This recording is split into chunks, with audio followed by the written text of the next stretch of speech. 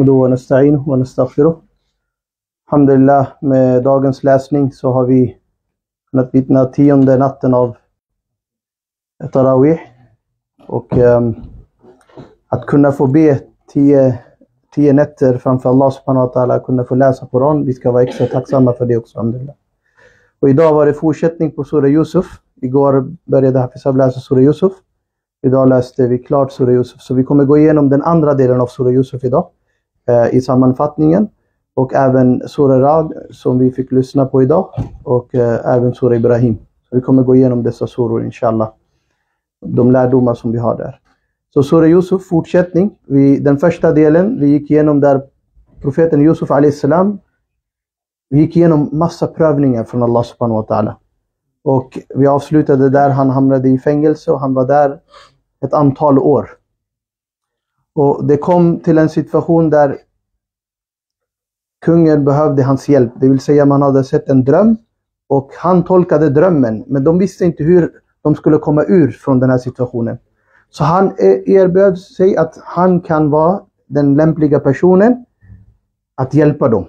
Så de lärda har skrivit att när det kommer till att hjälpa ur svår situation så kan man även hjälpa i platser och positioner.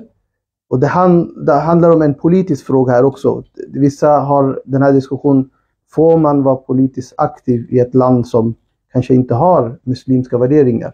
Då pratar man om den som är sakkunnig och den som kan den frågan och, och är lämplig ska stå upp och ställa upp och hjälpa till. Yusuf salam, han var där, han erbjöd sina tjänster, han sa, för han var sakkunnig. Han hade två egenskaper som han berättade om. Han var pålitlig och han var sakkunnig. Och ulama de säger, det är de här två egenskaper man behöver. Ena att pålitlig och man är sakkunnig i den frågan man är anställd för. Då, då gör man rätt jobb. Så han, han sa att jag kan göra det här, men innan jag får den här tjänsten, jag har ett krav. Det är att ni ska rentvätta mitt namn. För han var anklagad för något som han hade inte gjort. Och flera år hade han suttit där. Så vad de, vad de gjorde, för de behövde hans tjänster. De bad om ursäkt för alla dessa år som han hade suttit oskyldig. Och också gick ut öppet med att det var inte han som var skyldig där i den händelsen. Så han fick komma ut och ta positionen och när väl han tog över så första sju år enligt hans tolkning, det var bra de första åren. Och då hjälpte han att förvara råvaror så att man kunde klara sig senare.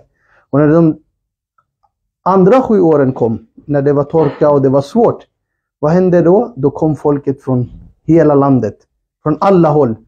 Och en av de grupperna var Yusuf al-Islams egna bröder.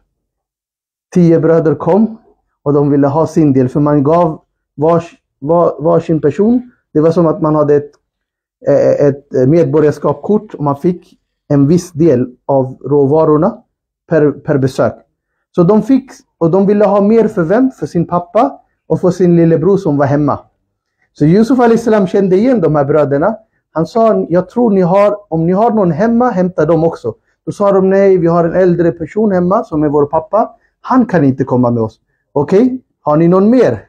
Han vill komma fram till att de har Benjamin hemma, som är Yusuf al-Islams bror och han vill att han ska vara här. Så han sa nästa gång ni kommer, ni måste hämta Benjamin, annars får ni inte råvarorna. Så de gick hem och nästa gång när de skulle komma, de sa till sin pappa Jakub salam som också profet. Låt oss ta Benjamin med oss, vi ska ta hand om Benjamin. Så Yusuf, äh, Jakub salam påminde dem. Minns ni vad ni lovade mig om Yusuf och vad ni gjorde med Yusuf? Hur, hur ska jag kunna lita på er? Men ändå, han litade på Allah subhanahu wa ta'ala. Och han skickade Benjamin med dem. Och vad hände då? Han, Jakub salam gav dem ett råd. När ni kommer fram till Misr, till Egypten, den, den, det är den tidens Egypten vi pratar om. Gå inte in genom samma port. Använd, det finns flera portar för att komma in. Gå igenom olika portar. För att om någon ser er, det kan hända att ni får onda ögat på er. Att elva bröder från en och samma familj. Det här är också en lärdom som vi gick igenom igår också. När Jakub salam hörde att Yusuf salam hade sett dröm. Den här drömmen som skulle ge honom goda nyheter senare. Han sa berätta inte till någon. För avundsjukhet och onda ögat, det finns. Så även här, han sa till eh, sina söner, gå inte in tillsammans. Istället välj olika dörrar för, för att komma in till staden. Så de kom fram och Yusuf salam han tog sin bror Benjamin på sidan och han sa, jag är Yusuf, din storebror. Han berättade vad som hade hänt med honom. Han sa, jag ska hitta ett sätt att hålla dig kvar. Så han hade berättat till Benjamin. Vad han gjorde var när de var på väg tillbaka. Han tog, han beordrade en anställd där som jobbade i slottet att lägga in någon, någonting från slottet. En skål eller någonting från kungafamiljen så att vi kan ta dem fast när de åker härifrån. Sen när de började åka, då ropade en från slottet. Han var bakom dem och ropade. Ni tar någonting som inte tillhör er. Stanna. Då sa de, varför är vi anklagade av alla? Vi är som alla andra besökare, vi tog råvarorna, varför ska vi göra något som vi inte borde göra? Vi, vi ska vara tacksamma till eh, kungafamiljen och eh, slottet att vi fick vår del av råvaror. Varför ska vi vara de som ska tjuva eller stjäla någonting? Så vad hände att när de började gå igenom allas väskor och resetillbehör, då hittade man den här skål hos Binyamin. Och vet ni vad bröderna sa, några av dem? De sa du är som din bror Yusuf. Då Yusuf Alislam, han var ju där när han hörde. Koranen beskriver att Yusuf Alislam blev ledsen inuti. Han hörde det här från hans bröder. Tills nu att de har ilska för honom. Att de, de säger att du är som Yusuf. Det är ingen skillnad mellan dig och Yusuf. Ni är likadana. Men ändå Yusuf salam han hade mycket tålamod. Han sa ingenting. Han sa okej okay, nu straffet den här personen som vi har hittat skål hos. Han ska stanna med mig. Han ska stanna här, han får inte gå. Då blev de jätterädda allihopa. Då sa de, hur kan det här hända? Vi har lovat vår pappa som är äldre person. Han kommer inte bli glad med det. Och då valde en av bröderna att stanna bakom.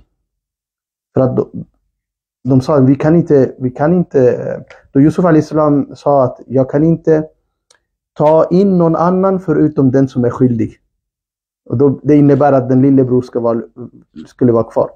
Så han skickade dem tillbaka. Och när de gick till Jakub salam, de berättade och Jakub salam blev ledsen återigen, för han hade litat på dem, men de berättade. Din son, så sa de, din son har eh, blivit anklagad och man har hittat något hos honom som inte tillhörde honom. Därför han är fast där. Så hur som helst, när de kom tredje gången för att nu hämta Benjamin också, men hämta råvarorna också. Då Yusuf salam sa till de här bröderna, minns ni vad ni har gjort med Yusuf? Och när de såg honom, och när, du vet först, man vågar inte kolla i, i en minister eller en kung som står där framför, man vågar. När de började kolla så här och noggrant, är du Yusuf? Kan det vara så att du är Yusuf? Han sa, jag är Yusuf. Men Yusuf salam sen nämnde tillsammans med det att jag, jag har inget ilska mot er. Var inte rädda, jag kommer inte göra någonting. Däremot, ta min tröja och ge den till Jakub salam, min pappa. Och, när, och säg till honom att han ska eh, torka sitt ansikte med det här. Alltså massera ansiktet med det här. Och när han kommer göra det, han kommer få sin syn tillbaka. Så Jakub salam fick syn tillbaka. Och då Yusuf salam sa, nästa gång ni kommer, ni ska hämta föräldrarna med er också. Så ni ska inte komma ensamma. Så de kom fjärde gången. Nu, det här är fjärde besöket de kommer till Yusuf salam. Och i det här fjärde besöket, vad händer? När de kommer, de gör det som Yusuf salam såg i, i, i, drömmen. Att alla går ner med pannan framför Yusuf salam med respekt. Och då Yusuf salam säger Haza ta'wilu Att det här är tolkning på min dröm som jag såg. Och när, Olama har skrivit, när såg han det? minst 40 år tillbaka. Tänk att det tog 40 år för att få den drömmen som han hade sett. Och det här visar att hur mycket tålamod vi behöver. Idag vi, vi vill ha snabba resultat på saker och ting. Vad Yusuf salam gick igenom. Från brunn till att han blev slav, sen till att han blev fri, till att han hamnade i fängelse. Och alla de här prövningarna, till slut Allah placerade honom i den position som Allah hade valt, valt för honom. Så hur mycket han gick igenom, det här visar oss vad som krävs från oss. Den tålamod som krävs för att vi ska få den ersättning som Allah har lovat oss i Jannah inshallah. Så vi måste verkligen hålla det. Och profeten sallallahu alaihi wasallam, i den här, det finns en vers mot slutet av sura Yusuf. Det säger Qul hazihi sabili ad'u ila Allah ala basiratin ana wa man. Profeten sallallahu alaihi wasallam är beordrat att säga till hans följare, det vill säga till sahaba, till oss, till umma, att det här är min väg, det vill säga profetens väg. Och jag kallar till den här vägen med visdom. Och så ska de som följer, följer mig också göra på samma sätt. Så när vi kallar någon till Islam eller bjuder någon till Islam eller bjuder till det goda, vi ska kalla med visdom. Vi ska inte kalla någon hur som helst. Vi måste ha visdom och vi måste veta vad vi kallar till och vi måste vara säkra också i det vi kallar till. Så Allah, profeten sallallahu betonar det här i slutet av Surah Yusuf. Sen kommer vi till Surah Rad som vi idag lyssnade på. Och Surah Rad, det betyder åska.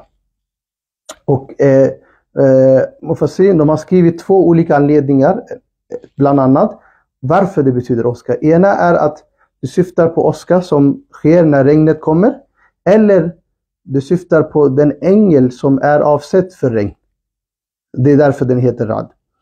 Och i den här Surah Rad, Allah subhanahu wa ta'ala beskriver om regn som Allah skickar ner och hur Allah subhanahu wa ta'ala styr hela systemet. Den här systemet och även Allah subhanahu wa ta'ala har gjort så att den här himmel som vi ser över oss, den är över oss utan någon pelare. Det är också en mirakel i sig. Den är på sin plats utan någon pelare. Och det här är en utmaning som Allah ger till de icke-troende som inte tror, som utmanar Allah subhanahu wa ta'ala. Ännu en utmaning finns här är, Allah säger, när jag kan skapa er i livmoder utan någonting.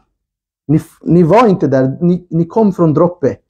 Och ni, ni fanns inte, ni hade ingen bild. Alltså, och Allah subhanahu wa ta'ala skapar er till en levande människa i en form. När efter döden, när ni inte finns längre kvar, Allah kan återigen skapa er. För där, deras frågetecken är, och de brukade liksom skämta om det och driva om det. Hur kan vi leva tillbaka i domedagen efter att vi försvinner i jorden? Och vi blir som jord och vi försvinner i den här jorden. Hur kan vi komma tillbaka? Så Allah utmanar. När jag kan skapa er från ingenting, då kan jag skapa er tillbaka också. Det här är Allah subhanahu wa ta'ala. Så Allah subhanahu wa ta'ala säger till oss. Sen Allah subhanahu wa ta'ala nämner också om att Ala bizikrillahi tatmainul qulub i surah Att enda vägen för att må bra, för att slippa psykisk ohälsa, för att slippa alla problem, för att få den här ro i livet, i själen, det är Allahs åminnelse. Det finns ingen annan väg. Allahs åminnelse är sättet man kan må bra av. Vi söker, vi söker ro på olika sätt. Och vi tror att vi kommer få det. Men Allah säger Allah, Allah varnar oss. Lyssna, var noggrant, var uppmärksam. Ni är, det enda sättet ni kan må bra, det är genom Allahs åminnelse. Allah Sen kommer vi till Surah Ibrahim. Och eh, Surah Ibrahim, vi vet Ibrahim a.s. Det handlar om Allahs Khalil, Allahs vän. Och här Allah subhanahu wa ta'ala nämner om Ibrahim a.s. och berättar att hur han var när det kom till att uppfylla Allahs löfte som han hade med Allah subhanahu wa ta'ala. Att han fick en son i äldre ålder. Och han lämnade hans son och hans fru i tawakkul, i tillit på Allah subhanahu wa ta'ala. I öknen. Det enda han gjorde var att han gjorde dua och Allah skydda mig, äh, min, min, mig och min familj och min son och gör den här staden till ett levande stad. Till en, en fridfull stad. Och idag är resultat alla vill åka till Mecka. Tänk att det var öknen. Vilken uppoffring Ibrahim a.s. och hans familj gjorde. Så här är resultat idag. Och det är också återigen av tålamod. Resultat kommer efter tålamod. Så det här är också återigen påminnelse. Och det här är svar till de som frågesätter Allahs beslut. Och när Allah frågar, Allah testar oss på olika sätt. Man frågesätter när kommer, när kommer resultatet? Här är bevis att Allah subhanahu wa ta'ala ger, ger oss resultat på olika sätt. När Allah testar sin närmaste vän, Khalilullah. Ibrahim a.s. var Khalilullah, Allahs närmaste vän. Han blev testad och prövad på olika sätt. Självklart, prövningarna kommer komma. Men det gäller att vara fast. Och sen kommer också en vers som är en varning för oss alla att shaitan på domedagen, som är djävulen och satan, han kommer säga فَلَا تَلُومُونِي وَلُومُوا أَنفُسَكُمْ Skyll inte på mig, skyll på er själva. Idag när vi tycker och tror och vissa, må Allah skydda oss från dem, de säger ja men Vi kommer säga det var shaitan, det var satan, det var djävulen som gjorde allt det här, det var inte vi. Shaitan tydligt kommer säga فَلَا تَلُومُونِي وَلُومُوا أَنفُسَكُمْ Skyll inte på mig, skyll på er själva. Shaitan kommer lyfta upp händerna, ta inget ansvar. Shaitan kommer inte ta något ansvar. Snarare kommer backa ur och låta oss bara lida av det vi har gjort för misstag. Så må Allah skydda oss att vi inte hamnar där och må Allah göra oss bland de som har lyckats i det här livet för att lyckas i nästa liv. Så Allah subhanahu wa ta'ala ger oss förståelse att vi har Koranen framför oss som vägledning och profeten sallallahu alaihi wasallam som vår förebild inshallah. Subhanallah bihamdi. سبحانك اللهم وبحمدك نشهد ان لا اله الا انت نستغفرك ونتوب اليك